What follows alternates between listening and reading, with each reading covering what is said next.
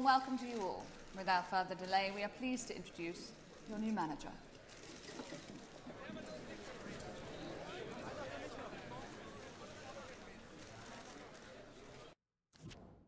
Og halla, folkens. Med den introen, velkommen til Odd Grenland karrieremodus. Eh, jeg Dere så Dere så manageren. Fuckings Fridtjof Nordby. Jeg håper ikke det er noen der ute som faktisk heter det, og blir eh, irritert, eller på en måte tar æren, eller et eller annet for det greiene der. Fridtjof Nordby var bare to navn jeg satt sammen og lagde en veldig spesiell karakter. Dere vet jo, hvis dere har sett på videoene mine på kanalen, så vet dere at jeg pleier å lage veldig spesielle karakterer når jeg kan få lov til å velge åssen de skal se ut og sånt. Så Fridtjof Nordby skal prøve å eh, bringe tilbake litt mer eh, gjør det bra bare generelt i Odd Grenland, og håper at eh, vi klarer å få til litt eh, seire med han. og forhåpentligvis noen trofeer og sånt noe, både internasjonalt og eh, over hele verden. Jeg spiller også Fifa 23. Jeg har ikke det nyeste Fifa i FC, hva nå enn det heter for IAFC eller noe sånt noe. Jeg, jeg vet ikke åssen det er med dere, men jeg rekker liksom aldri å bli helt ferdig med hvert Fifa før det kommer et nytt et ut, eller i dette tilfellet nå har jo EA på en måte laget sitt eget, da, så du vet ikke om det kommer til å være Fifa og EA, om det er to forskjellige. Uansett, jeg har bare Fifa 23, det er det nyeste jeg har, og jeg tenkte, vet du hva, det er ikke så stor forskjell på de uansett, og som sagt, jeg rekker ikke å bli ferdig med et Fifa før det neste kommer ut uansett, så jeg var sånn, vet du hva, vi spiller Fifa 23, jeg har lyst til å ha en uh, ny Fifa-serie på kanalen, nå har vi fullført Odin Strong-serien, så nå går vi videre til denne karrieremodusen som jeg skal spille med Odd Grenland. Så ja, invitasjon til turnering, jeg pleier alltid å bare ta den som vi får mest betalt for, fordi Odd Grenland er én stjerne i det spillet her, pluss at de har ikke så mye penger og sånt eh, på forskjellige ting.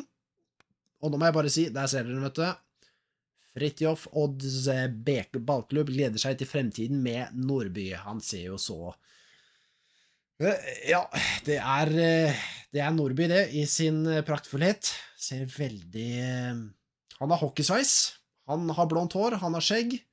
Eh, ja da, så sånn er det. Eh, nå må jeg bare si at jeg, jeg følger ikke så mye med på fotball lenger, sånn som jeg gjorde før. Eh, det må jeg bare si. Men eh, Så det her kan være en litt sånn bra mulighet for meg å kanskje bli litt mer kjent med i hvert fall Odd Grenland. Fall Odd Grenland er mitt uh, fotballag i Norge, bare så det er sagt. De holder jeg med i Tippeligaen. Nei, nå sier jeg Tippeligaen, men det er ikke, det er ikke Tippeligaen det heter nå, det heter Eliteserien. Det sier bare litt hvor eh, eh, hvor lite jeg ser på fotball, eh, for å si det sånn, om dagen. Eh, men la oss ta en titt. Her var det veldig mye som var gærent, tydeligvis. Utropstegn til tusen.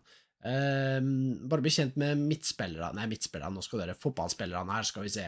Vi har Midtskogen, det var sikkert derfor jeg sa midtspilleren, fordi han het Midtskogen. Det er en spiss vi har. Vi har Jørgensen, som sendte midtbane.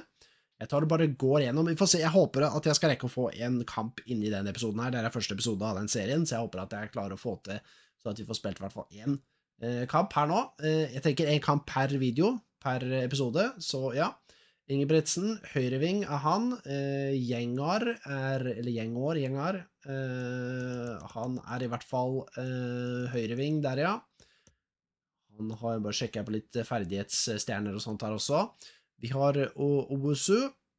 Han eh, regner jeg med er fra og noe annet, ja. Ghana er han fra. Vi har også en Owusu. Er det to brødre, eller? Er han også fra Ghana? Det er han. Da kan det hende at de to er brødre. Jeg, jeg vet ikke. Uh, Thomas Det var ikke så mange Det var en del som ikke hadde ansikter her, eh, virker det som.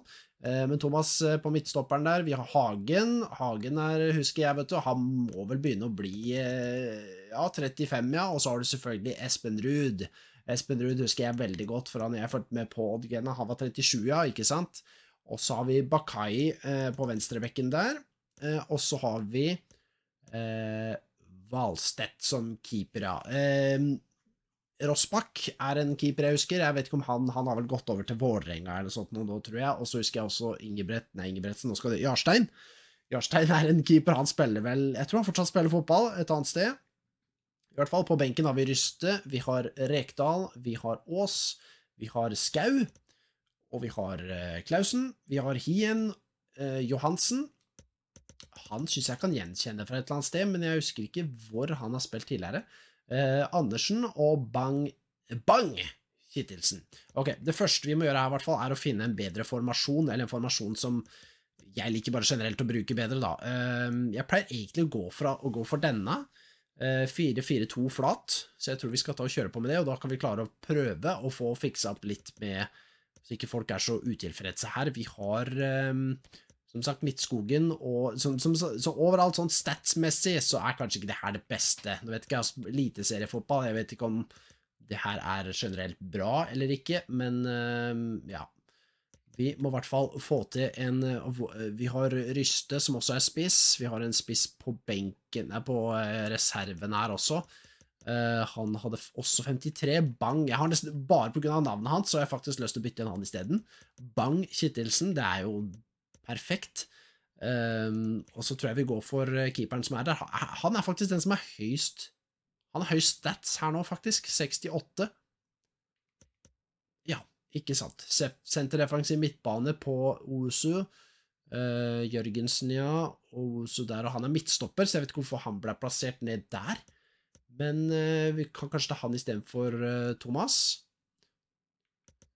Uh, han liker seg selvfølgelig ikke der. Kan vi ta han um, der på venstrevingen, da? Det er greit for han. Vi har ikke noe venstreving heller. Det er ganske mye her som jeg kommer til å endre på, mest sannsynlig. Uh, for at Anosu skal bli fornøyd, så kan vi faktisk endre til en annen formasjon. Vi kan faktisk endre til uh, Lurer på den, men jeg har lyst til å ha litt mer Nei, den tenkte jeg på. Så det er litt mer uh, Ja, for da har vi han der, og så har vi Du var tydeligvis ikke greit å være der.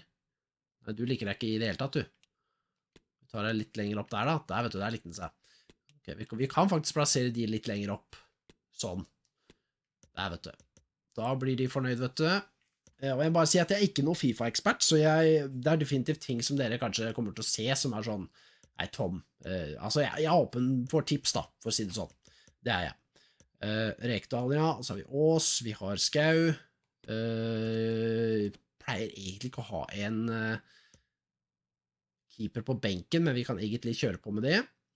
Uh, Tester vi Tovuse, han her har egentlig høyere Johansen har høyere um, stats, egentlig, men um, vi beholder han. Uh, kanskje vi skal ha noen bekker og sånn. Vi, tar en høyrebekk på um,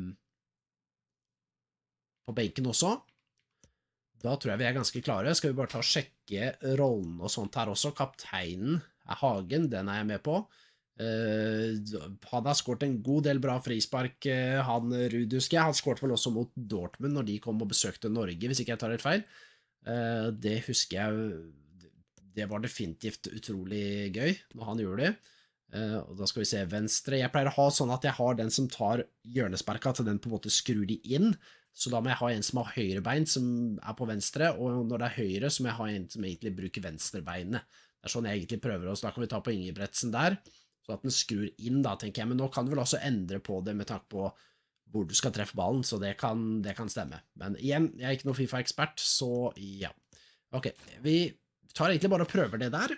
Jeg skal også ta og lage et B-lag, men akkurat nå har vi ikke så mange spillere her, så vi må definitivt uh, Vi må definitivt ordne sånn at vi får litt flere her. Jeg vet ikke, har vi noen på Det må vi ta og sjekke om vi har noen på den juniorstaben her, for det er noe jeg definitivt har lyst til å ordne, og det var ikke her, tydeligvis. Vi ser Ungdomsakademi. Her har vi allerede et par stykker. Uh, der har vi en som har ganske bra potensial. Uh, Makado fra Portugal, 16 år. Han er allerede 56 overall også, så det er egentlig veldig bra. Han er spiss. Han kan det hende vi faktisk plukker opp allerede. Jeg pleier å se mest på potensialet når jeg kikker på disse spillerne. Uh, han hadde en veldig bra svakfot, da. Uh, Flores fra Ecuador. Uh, han hadde ikke så veldig bra potensial, da, men ja. Vet du hva, vi beholder i hvert fall Makado. Jeg tror vi tar og kvitter oss med denne fyren. Slipp der. Flores, altså potensialet Han potensialet var jo 69, så det var jo ikke bra, så han eh, slipper vi i hvert fall nå. Um, jeg syns ikke 76 var så veldig, veldig, bra heller, altså, så jeg gjør det. Uh, og så kan vi beholde han litt for å se hvor han ender opp. Um, han er høyre ving, så da kan vi ta endre på utviklingsplanen hans i hvert fall litt. Og sette den på ving, kanskje. Uh, eller denne. In, ja, vi prøver på den der. Han er bare 15 år også, så vi hadde ikke fått tatt den opp uansett hvis vi kunne. Men jeg vurderer faktisk å ta opp Makado eh, med en gang. Eh, fire stjerner på ferdighetsgreier òg, ja. ja. Vet du hva, vi tar og plukker opp han. Vi trenger flere eh, spisser også, så definitivt. Han plasserer jeg Jeg vurderer å plassere han på benken, faktisk. Så det tror jeg vi skal tenke på å gjøre. Hvorfor ble det plutselig Ok, nå ble det tydeligvis plutselig endra på masse greier her. Er det Ja, plutselig er han der. What the f... Hva er det som skjer? Det, det, det, har faktisk skjedd noen ganger, og jeg skjønner ikke hvorfor det fortsetter å, fortsetter å skje, egentlig. Han var fra Portugal, ja. Kan egentlig plassere han på benken. Uh, så kan det hende at vi gir han en sjanse, faktisk. Uh, sånn. Da har vi spisser, ja. Tror jeg er ganske fornøyd med det. Og så skal vi som sagt få ordna så at vi får flere flere spillere her, også flere. Jeg kommer til å ha litt sånn fokus på å gjøre det bra her, få bra ungdomsakademispillere. Uh, det var Fagermo, som var trener tidligere for Odd, når jeg fulgte mer med, han hadde veldig fokus på det at han ville ta inn unge talenter og trene opp de og bygge laget fra bånda og med lokale spillere her. Og det har jeg egentlig litt lyst til å prøve også. Prøve å um, ha flere uh, Ja, juniorstaben var der, ja. Uh, han var egentlig ganske dårlig dømmekraft og dårlig erfaring, han vi har her nå, men han er norsk. Så skal vi se hvor mye penger er det vi har, for vi har ikke råd til de eh, beste her, skjønner du. Der, vi har ikke noen der som er femstjerners, men vi hadde ikke hatt råd til det uansett. Det er bra at ikke alle pengene våre går til det, men hvor er det han speider egentlig? Han har ikke satt opp noen speidergreier, da setter vi det i Norge. Så vi kan finne litt lokalt talent her. Ehm, det er ganske dyrt, altså, men det er, det er noe jeg har lyst til å fokusere på, så han er ikke så veldig bra. Så vet du hva, vi starter med tre måneder. Og så får vi litt mer penger etter hvert og har råd til å kjøpe en som er litt bedre og litt mer erfaren, så kan hende vi gjør det. Uh, ok. Kan vi se. Ruud setter opp speidernettverk. Han heter også Ruud. Vet du hva, så ikke jeg det før nå? Heter han seriøst Ruud? Robert Ruud, ja. Han er i familie med Espen Ruud, da, tydeligvis. Da kunne vi ikke ha sparka han hvis vi hadde hatt lyst til det heller. det var jæklig random. Men ja, greit. Eh, nå falt jeg litt ut av det. Ja, jeg sjekka mailene, det var det jeg gjorde. Ok, Han setter opp det, det er bra. Vi, har, eh, vi er med på en sånn eh, i starten her, så at vi får eh, forhåpentligvis litt penger ut av det. Så kan vi prøve oss litt fram med laget også, spille litt kamp her og sånt.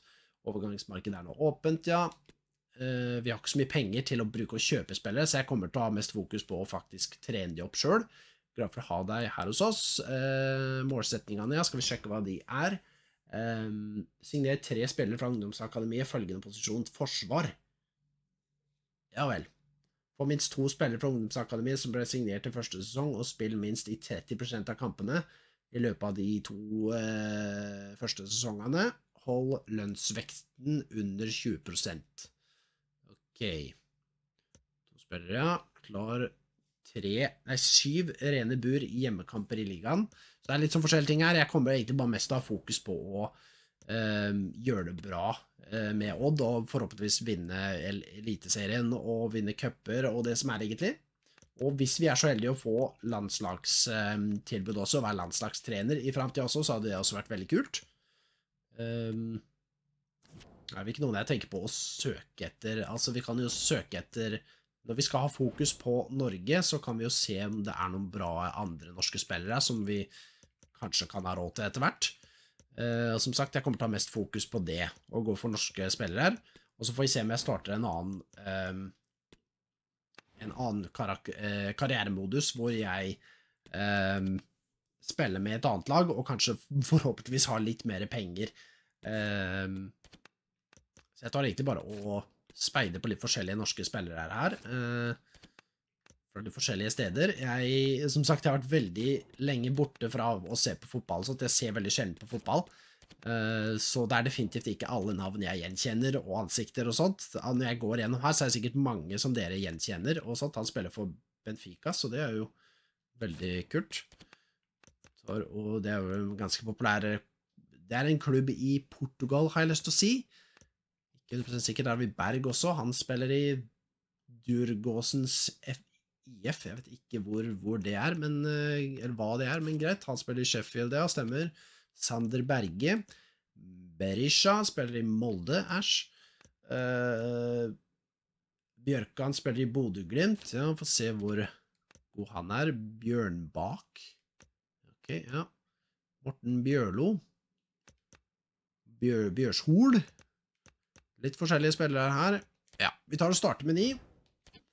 Så har jeg, jeg har litt lyst til å sjekke. La meg bare sjekke det, for jeg pleier å sjekke det når jeg spiller litt sånn karrieremodus på fritida. Så sjekker jeg eh, hvem som er på eh, Hvem som er kontraktløse, og se om det er noen spesielle interessante der, da. Eh, han der dukker veldig ofte opp. Han ser så sur ut. Eh, men ja, den er grei. Eh, ikke Ja, som sagt, vi skal jo ikke kjøpe spillere her. Prøver å holde meg mest til norske spillere her, så ser vi åssen det går. Jeg tror vi har gjort det meste nå. Vi har sjekka mailene, vi har satt opp speidernettverk eh, for å sjekke om noen flere juniorgreier. Vi, vi valgte å signere en av de. Han er på A-laget. Eh, Macado fra Portugal. Det var egentlig bare fordi han var i systemet, egentlig, og han var jo hadde bra potensial, han. Så ja, tror ikke det er noe mer vi trenger å gjøre nå. Eh, skal vi se hvilke vi har par treningsdager og sånt. Er det greiene der stemmer? Det må jeg, jeg må ta og skru av. Um, tar og simulerer trening. Jeg kommer ikke til å ta med det på opptak, eller jeg spiller ikke de generelt. Um, vi tar og hopper over treningsdager og sånne ting, så at det ikke går så jæklig treigt, de greiene her.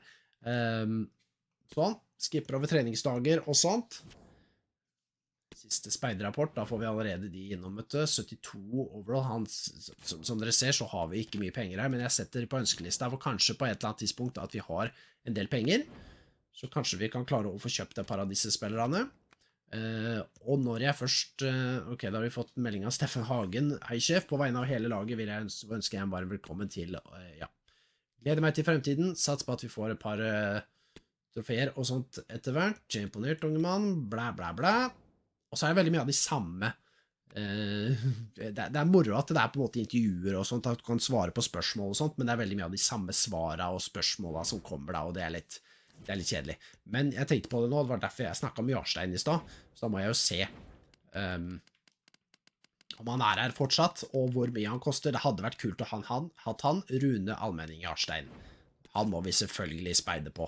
Han setter jeg på ønskelista med en gang, for han veit at jeg kommer til å prøve å kjøpe Brenge tilbake Rune Almenning Arstein. Det hadde vært gøy det for én sesong, i hvert fall. Vi får se. Siste speiderrapport. Ja, men, ja, ja, vi får se. Vi skipper videre. Skal vi være i preseason, så er det masse, vet du. Uh, ja, har lyst til å få skaffa han på et eller annet tidspunkt. 23 år gammel nå, vet du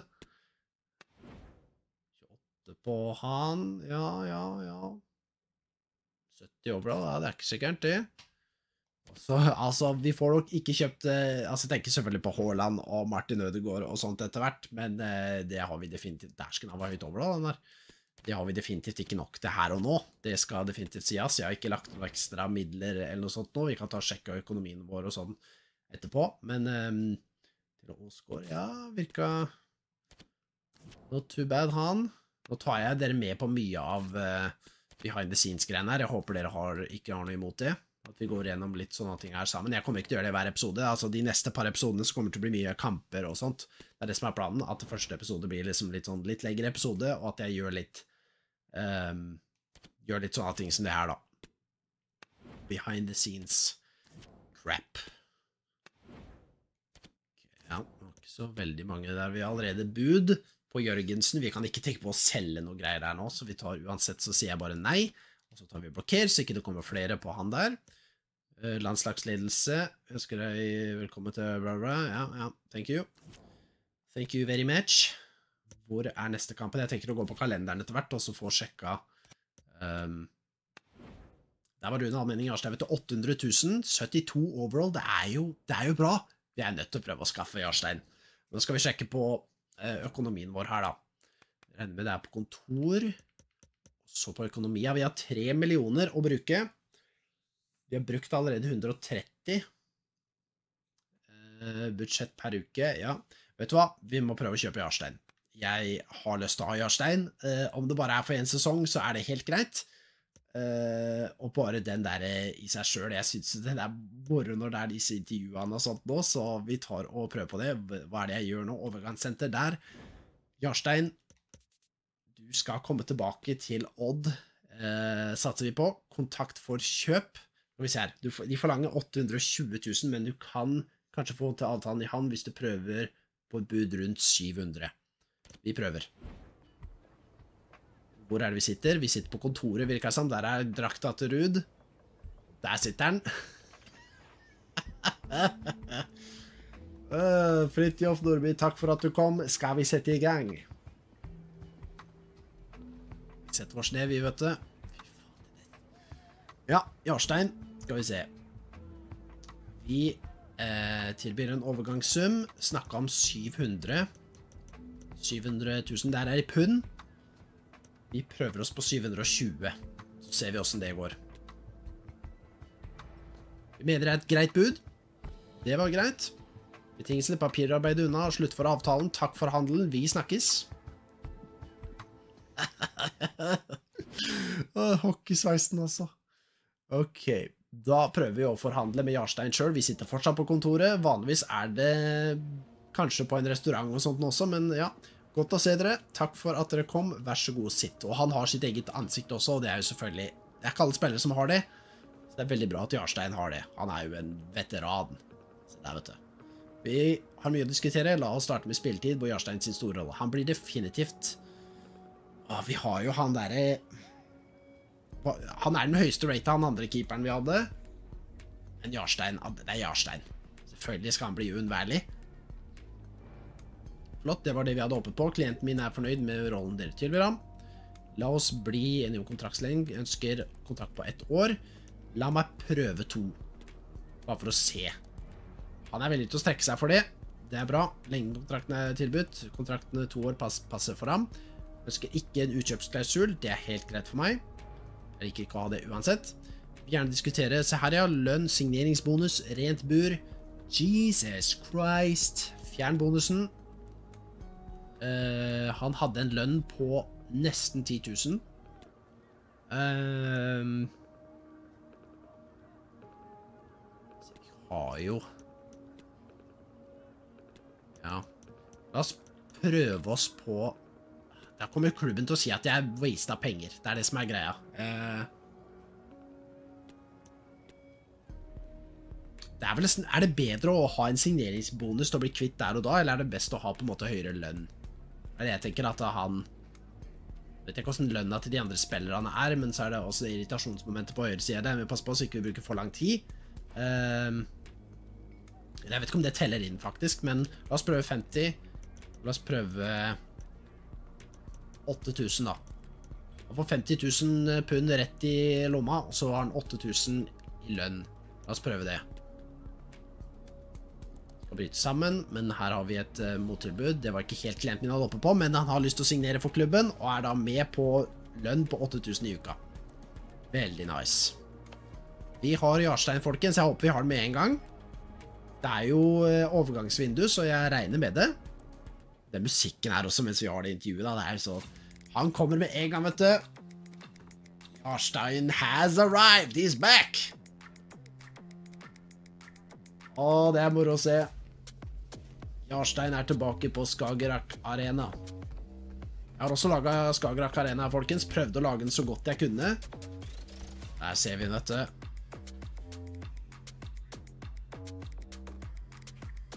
Jarstein has arrived.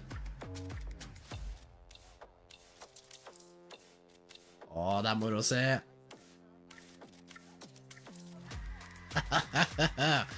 oh yes. Veldig nice. Og da skal vi se da, hvor eh, fornøyd de er med dealen min her. Rune Almenning Arstein. Skal vi se, hva får vi? En C. Ok, god pris. Vi se hva de har å si til her. Vi pleier vanligvis å ha et notat her. Der kom eh, lydeffekten på kontrolleren. ja. Ny stjernespiller. Eh, sterkere forhandlingsevne kunne ha spart deg 210 000 Nei, 230 000. Ok.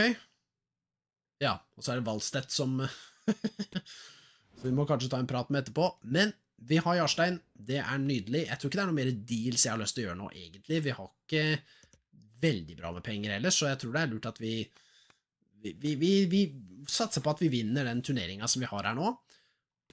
Og så, ja Ok, da skal du få lov til å havne på benken der isteden, og så skal vi få lov til å ha fuckings Jarstein her, vet du.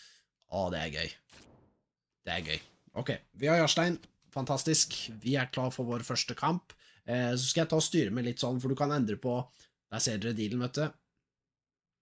Du kan ta og endre litt på ehm, På hvordan spillerne skal se ut, om de skal ha på seg noe teip eller noe sånt noe, og masse greier. Og det skal vi ta, og det gjør jeg når jeg er ferdig med den videoen, første videoen her, da, etter vi har spilt en kamp. Jeg tror vi styrer med det da. Men eh, nå må det vel snart komme en kamp her, vel. Der, ja. Nøytral vennskapskamp, det blir jo ikke det, for det er jo, vi er jo med på en turnering. Så den dukker opp nå, vet du. Eh, startplassen i fare for Valstedt, der kommer det allerede på eh, Det kommer allerede på nyhetene her. Det er, eh, det er helt greit, det. Jeg vet ikke hva slags eh, avtale han har, men han er sikkert unnværlig eh, der. Men eh, da har vi vennskapskamp der, og så har vi Her er det vinn eller forsvinn også, så ja, vi er nødt til å vinne de kampene vi spiller her nå. Hvis ikke så, hvis ikke så er jeg fucked. Da, da er vi ute, og da funka ikke Da, da, da mister vi de pengene, for å si det sånn. Eh, skal vi se. Ja, vi har Jarstein. Jeg tror vi er klare, egentlig. Varberg skal vi spille mot uh, først her. Jeg tror egentlig vi bare tar og hopper inn. Der ser dere, jeg har ikke peiling på hvor det laget her er fra, eller om det laget her er bra, eller ingen anelse. Vi bare kjører på. Jeg har ordna med Jeg har sjekke med drakt drakter og sånt nå, at ikke det er kleint. Ja, kleint hvis de har på en måte litt sånn samme farge, og så er det vanskelig å se på banen og sånt, men det ser veldig greit ut. Vi tar og starter. All smiles ahead of kickoff. What sort of impact can he have at Der this club? We're about to find out. Stay with us on EA TV. Han ah, ser så spesiell ut. Det snør òg, ja. ja. Good evening and welcome on a wintry night here. Snow Fra Sverige. Det er Norge mot. Sverige. Da skal vi vinne. Da skal vi definitivt vinne. Norge mot Sverige. Vi må vinne denne. Det er bror mot bror, rett og slett. Hver gang Sverige møter Norge, så er vi sånn at eh, nå Norge skal vinne. Å, crap, vi starter ikke bra! Å jo da, Jarstein er der. Jarstein er klar i buret og redder. Espen. Ruud! Deilig å se litt eh, kjente Det er sånn sint derfor er eneste grunn til at jeg kjøpte Jarstein, for han er Han er Jarstein! Jeg kjenner han fra når jeg så på Odd spille, men jeg er definitivt med på å bli kjent med disse nye spillerne også, som Vet ikke hvor lenge de har vært i Odd, holdt jeg på å si, men øh, ja. All right. Let's do this. Første kampen med Odd. Jeg har ikke spilt så særlig mye med Odd. eh, Ikke spilt mye med Odd eh, generelt jeg har spilt Fifa, så det her blir eh, gøy. Det var- jeg prøvde på en langpasning i midten der, men eh, jeg må også bli vant til det at Odd er jo De er rata én stjerne i det spillet her. Så det må jeg bli vant med, at ikke det er eh, dritgode spillere jeg spiller med her nå. Eh, vi tar og snur, vi skyter. Å, for et mål! Det er første mål i serien. Å, fy fader, det er for en måte å starte på. Mot et svensk lag. Deilig. Og når det kommer til vanskelighetsgrad også, jeg får se etter hvert hva som eh, passer best, for at det skal bli litt utfordrende, ikke for lett, og ikke for vanskelig heller. Noe, noe midt imellom. Prøve å finne det, så Og det her er Der ser vi den, vet du. Fridtjof Nordby. OK. Veldig bra start. Borg Bang Kittelsen. Der ser vi åssen han ser ut. Jeg har egentlig gått gjennom spillestallen i stad, bare for å se åssen folk så ut som, men jeg skal gjøre det uh, etter jeg er ferdig med den videoen her. Da skal jeg ta også endre litt på åssen folk ser ut. Ikke ser ut, men hva de har på seg og sånt. Jeg liker å ha litt kule eh, sportsteip og sånt på, syns jeg, og muligens ha på hansker og ja. Styre litt med det. Men det styrer vi med senere. Osu. Nei, det var, hva er det for noe, da? Å, det er dårlig. Osu, hva er det du driver med? Holy crap. OK. Junior. Øh, det er ikke bra. Å, for en blokk! Hagen er der, vet du. Hagen er der og blokkerer. Nydelig. OK. Det går bra. Det går bra. Sist gang jeg spilte på Odd, jeg hadde en karrieremodus på Fifa øh, Jeg har lyst til å si Fifa 18, kanskje. Fifa 16, jeg husker ikke. Men da hadde jeg i hvert fall Bentley. Hvis dere har fulgt med på Odd, så vet dere hvem Bentley er. Åh. Bentley hadde jeg. Um, han gikk vel videre, litt sånn fram og tilbake. Jeg tror han spilte på Brann også, blant annet, det- dessverre. Um, men eh, ja. Og så får vi se med lengden også. Nå tok jeg seks minutter. Det kan hende det var litt mye, for jeg ser at klokka går veldig treigt. Det kan jeg sette den litt ned. Å, alt fart. Ja. Oi, der var, hadde vi Fridtjof igjen. Han ble, han ble sur. Men veldig moro å få til litt Fifa på kanalen igjen, folkens. Vi spilte som sagt med Odin Strong sist. Det var siste Fifa-serien vi hadde. Det var veldig gøy. Da spilte jeg sånn spillekarriere. Her er det jo karrieremodus. Uh, og jeg krasjer inn i folk og greier, og Jarstein er der. Yes. Very nice jobb, gutta. Så får vi se litt etter hvert også med om jeg tar og redigerer litt vekk og tar med bare høydepunkter og sånt. Det er en serie jeg definitivt er med på å på en måte ehm, trikse og fikse litt med, da, og så bestemme litt hva, hva jeg skal gjøre, da. What the f... Ja. Nesten bare se det litt. Men nå blir det en, eh, på en måte en pilot. Nå eh, TV-serier har jo pilotserie hvor det er bare en, på en måte en, ikke en test, da, men. Litt lengre, og dæven, litt lengre variasjon, eller eh, lengde på de, og så ja. the keeper Um, deserves a lot of credit. was a fine save, wasn't it? bare bable egentlig. Spenrud. Wosu. Jørgensen. Jørgensen. Ok, ok. Litt kult at det snør her nå. Jeg er ikke vant til at det er snø når jeg spiller eh, Jeg vet ikke hvor vi spiller hen, men eh, ja. Eller hvilken måned det er heller, for så vidt. Kan hende det er en vinter. Vintermåned. Det passer jo litt nå, da, for det er jo vinter. Vinter nå. Det er vinter, men det er ikke snø, kommet snø ennå. Det var snø, men det var ikke lenge det Ah, dæven! Det var ikke lenge det varte. Sender Bakai på løp. Han er venstrebekken vår, men han er, han er her oppe. Jeg legger inn. Der var det ingen. Det var Bang. Jeg digger det navnet. Bang. Sender tilbake til Bang. Bang! han skal definitivt beholde på det laget her. Det er ikke tvil om, bare pga. navnet hans. Og hver gang jeg kan skyte med han, så kan jeg si bang. Han skal bli stjerne i, eh, i den karrieremodusen her. Jeg vet ikke om han er, eh, om han er god i virkeligheten. Som sagt, jeg følger ikke så mye med på fotball eh, lenger på TV. Jeg har ikke um, kanalene, og jeg gidder i hvert fall ikke å betale for det som er um, nå på Premier League. Der kom kortet for uh, stygge taklinger i stad. Robin Tranberg. Det er jo så dyrt for uh, Premier League-greier nå. Å skulle se det. Ja, det er jo så stygt, dette. Sponsa Rema 1000, da. Det er nice. Ullared var de sponsa. Virka det som. Jeg tror det var det det sto bak på, bak på ryggen hans! Å, dæven, den trodde jeg gikk inn. Der har vi den. Det er så bare. Å, den sveisen, altså. Oi, oi, oi. Ja. All right.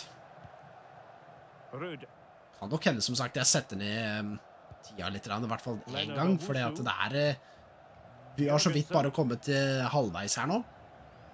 Hva folk vanligvis pleier å ha på minutter og sånt. Ja, men Å, å, å, olé!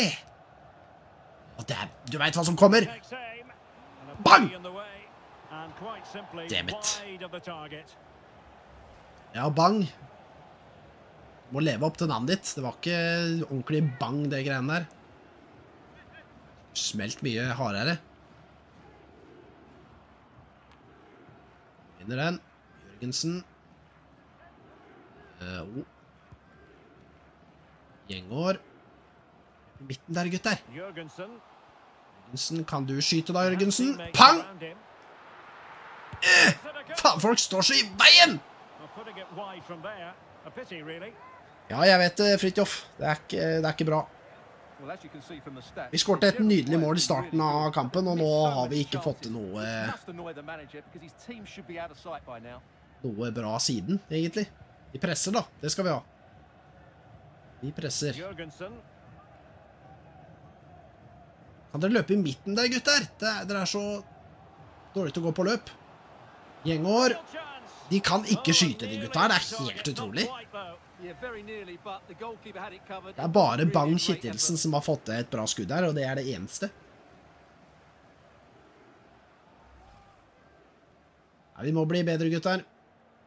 Definitivt. Og skal du si oss igjen, vi spiller med et lag som har én stjerne på det spillet her, så det er et lag som definitivt må oppgraderes med bedre spillere og um, mer kvalitet. Men vi leder 1-0 til pause. 1-0 til pause, det er veldig bra. Bang! Kittilsen skårte etter ti minutter. Hvor er det vi spiller, forresten? Spiller vi på Skagerrak Arena? Jeg tror ikke vi gjorde det. Jeg lagde som sagt Skagerrak Arena, folkens. Hvor er det vi spiller? Står det eh, Jeg vil spille på Court Lane. Ja, hvor nå enn det er. Men vi skal nå Vi må få inn eh, Makado. Vi må få inn Makado. Eh, alle andre er ikke slitne, så vi bare sender inn han. Der har vi det. Nummer ni. Han er vår- er det ingen andre som har nummer ni? Jeg må sjekke på draktnummeret også. Jeg må definitivt eh, som sagt gjøre litt endringer og ordne litt på folk. Men jeg er med på å prøve å beholde og bli- bedre med disse spillerne som originalt her på laget. Jeg tenker egentlig bare å legge til flere unge spillere og eh, norske spillere. Prøve å holde meg til det og få trent opp de. Det er det som er planen. Makado har ballen. Makado har ballen. Han er treig, men han skyter. Åh! Olsson fanger den. Å, den har vi, vet du. Den har vi. Kom igjen. Nei! Fikk ikke sendt den imellom der. Britzen. Jeg legger inn til deg. Du kalte på den, men det var ikke du som fikk den. Og press. Alfonsi. Alfonsi. In terms of whether the transfer would go ahead, but it will go ahead, Stuart. Well, they've got Yeah, a real Bakai. here. He's such a good player, and he brings so much to this team. This is a really great deal for the club. Hvem er det dere snakker om? Jarstein? Jarstein? Nei! Han var Altså, Osu, du må, du må skjerpe deg litt. Det er noen av pasningene dine som ikke har vært helt eh, Helt toppen her nå, og nå må vi passe på. Det er bra. Bra på. Og dæven, da var det plutselig veldig mange ikke av våre spillere her. Vi vender. Vender spillet. Jeg skipper den over deg, så vi får til pasninga. Det funka bra. Er det noen som kan hjelpe meg her? Det funker, det. Å, det er så pent spill! Ja da! Jørgensen er der, vet du. Nydelig fotball, gutter. Sånn må vi fortsette med. Sender den på løp der. Brøyter seg gjennom og sender den. Dæven, det skulle Keeperen ha redda, egentlig. Han legger seg ned, og så legger han seg ned feil vei. Ser ut som han prøver å unngå den, egentlig. Ja, ja, jeg tar det, jeg. Mål er mål. Veldig bra. Og det var, eh, var det Jørgensen. Det var Jørgensen, vet du, etter 57 minutter. Som sagt, det er en pilotepisode, så jeg må ta opp her, og så må jeg finne ut av litt hva, hvordan jeg burde gjøre ting. Som sagt, enten mer redigering, lydene, om det er bra. Om eh, kanskje de prater over meg, på en måte, de der eh, kommentatorene, jeg vet ikke. Nesten bare se. Og som sagt, tida, vanskelighetsgraden, det er mye. Vi må bare teste ut hvordan det, hvordan det fungerer. Å, jeg prøvde å brøyte meg gjennom der, og, og Flytt deg da! Pang! Åh! Å, vi Å, det var ikke mål. Vi skårte, men det var ikke greit. Det er frispark til de, tror jeg. Wosu er sliten. Ja, vi kjører på. Jeg tror vi faktisk har en del mer bytter nå også. Eh, Når det er sånn en annen type turnering eller eh, cup eller hva det er for noe, så tror jeg vi har flere enn bare to eller tre bytter. Det er jo tre bytter som er det vanlige. Eh, ja. Men Carabao Cup, uh, når du spiller den, så tror jeg du faktisk har så å si endeløse by bytter, egentlig. Virker det som. Men uh, senere Ås Nei, Maka... Ah, ah, ah! Og vi kan jo på en måte tjene litt penger på det også, hvis vi tenker på det med å ta inn ehm, Ta inn spillere hvis vi ikke får brukt de, så der har vi flagga våre. til. Nydelig. Deilig å se. Hvis vi har spillere som ikke vi får, får brukt, så kan vi ta og selge de, eller i hvert fall ta de på utlån. Da. Det er det jeg mest pleier å gjøre hvis jeg ser en spiller uh, som er bra, som ikke er på løs på en måte lyst til å gi fra meg, men som har potensial og sånt, så pleier jeg å sende de på utlån. Uh, og så får jeg de tilbake, og forhåpentligvis så er de bedre. Det var det offside, ja. Forhåpentligvis er de bedre når de kommer tilbake enn det de var når jeg sendte de av gårde, da. Så, ja. Men det er moro å se Oi, det var ikke så veldig bra, men det går bra. Så moro å se Odderne igjen. Jeg må definitivt gå på en Odd-kamp igjen snart. Det er altfor lenge siden eh, Når var det sist vi var på en kamp? Jeg husker ikke. Det var Det eneste jeg husker, er at det var veldig kaldt, så det må ha vært i eh, en eller annen vintermåned. Men om det var november eller Det vet jeg ikke. Men her har vi Ås. Men det er som sagt altfor lenge siden, i hvert fall, så jeg må få gjort det igjen. Dratt på en kamp og sett. Ja, vi må presse, vet du, og ikke la de få noe, få noe mål. Plutselig så kan det bli eh, kamp igjen, vet du, hvis de får, får inn et par mål. Og jeg ser det! Å, Ingebretsen, det må du sette! Å, det må du sette. Å, what the. Akado! Åh! Prøvde å skyte, ja. Sender inn Johansen for Hagen. Det er bare å bytte når vi først har mulighet til å bytte her nå. Tror som sagt vi har evige bytter. Klart at ikke Hagen har et eget ansikt, synes jeg, men ja. Johansen inn. Da ble han automatisk kaptein. eh, Han tok med kapteinbindet, tror jeg. Jeg husker at jeg har sett han på et eller annet tidligere Fifa-spill jeg har spilt, hvor jeg vurderte å kjøpe den, men jeg husker ikke hvilket lag han spilte for. Det er det jo, går det selvfølgelig an å bare gjøre et kjapt søk. Etterpå så finner vi ut av hvor han på komme fra. The centre. Tror ikke han har vært en Odd-spiller eh, eh, tidligere, i hvert fall.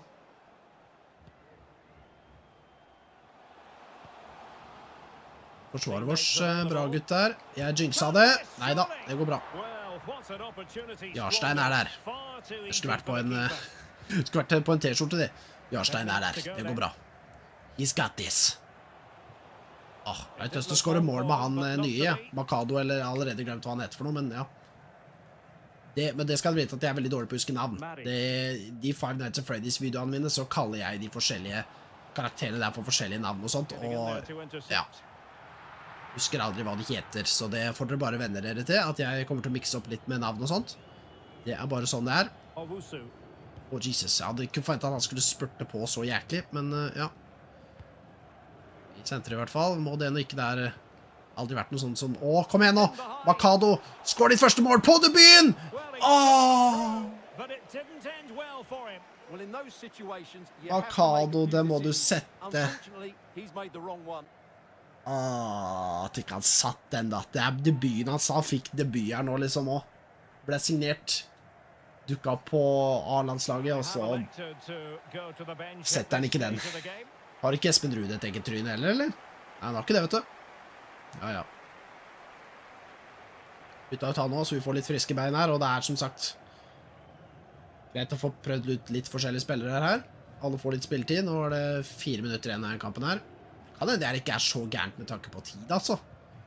Nesten se det når jeg redigerer på de greiene her etterpå. Om det er eh, passe lengde, eller om jeg skal sette litt, sette litt ned. Blokkerer den. Det ble nesten sjølmål. Greit at vi lo- lot være å gjøre det. Ok, Bakai. Skal vi få til ett mål til før det er over, da? Her har vi Ingebrigtsen. Kutter inn. Å, han blir takla! Det var tydeligvis greit. Han var på ball, men jeg syns ikke det var veldig pent. Skal han få en sjanse til, da? Nei. Makado får ikke en sjanse til. Han skulle ha satt den han hadde i stad, altså. Definitivt. Skal de få en sjanse til, da, før det er over? Å, han kommer seg forbi. Å, det er mål! Nei, det er ikke mål! Hashtag Jarstein er der. Jarstein er der. Beste signering av Odd. eh, At ikke de gjør det i virkeligheten, bringer han tilbake. Det skulle jeg gjort. Hva er det du står og klager over? Oi. Ser du de fantastiske Odd-flagga i bakgrunnen der, vet du? Masse snø. Å! Jarstein er der! Om ikke det blir en hashtag eller noe som dukker opp på andre steder, så er det mitt uh, mitt uh, hashtag i hvert fall, eller ja. Noe jeg kommer til å si hver gang han redder. Jarstein er der. Men vi starter med en seier mot eh, et svensk lag. Som jeg allerede glemt navnet på. Veldig bra. 2-0.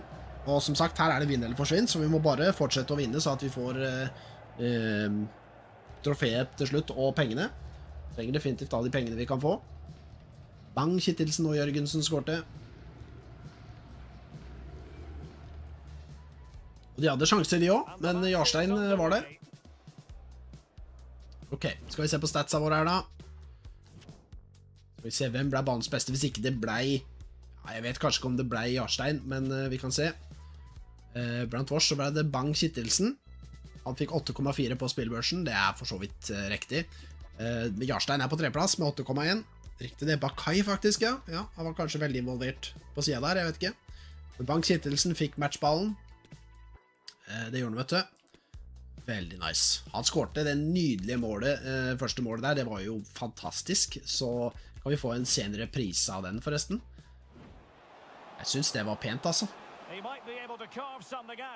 Høleren i lengste hjørne. Det var første målet etter ti minutter, liksom. Det er jo fantastisk. Ballbesittelse 61. Eh, De hadde 39. Vi hadde 19 skudd. Eh, Hvor mange skudd var det på mål? Eh, Oh my god, hvordan er det du ser det her? da? Ballbesittelse, skudd 18, ja. Forventede mål 3,4. What the fuck? Ball Skudd på mål, er ikke det Er jeg helt blind, eller? Da kan vi se på skyting, da. Det burde jo stå her. På mål. Seks, ja. De hadde også seks skudd på mål, faktisk, så Jarstein var, eh, var god i mål, altså. Definitivt. Ok, vi går videre. Ikke noe sånn, Vanligvis er det sånn intervju etter kampen og sånt her, men det, det var det ikke her. Det var første kampen. Vi vant 2-0. Det er fantastisk, vet du.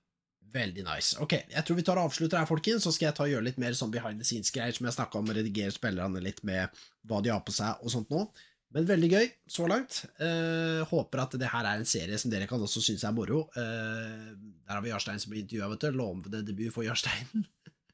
Um, ja, som sagt, jeg håper det er en serie som kan gjøre det bra. Eh, jeg har tenkt på en stund om jeg skal ha en ny på en måte Fifa-karrieremodus på Eller et eller annet med Fifa på kanalen, og da tenkte jeg, vet du hva, jeg kjører i gang med det her. Jeg vurderte å kjøpe uh, AFC, og så starte noe greier der, men jeg tenkte, vet du hva, jeg har Fifa 23, jeg spiller det bare der. Det er ikke så stor forskjell uansett, så ja.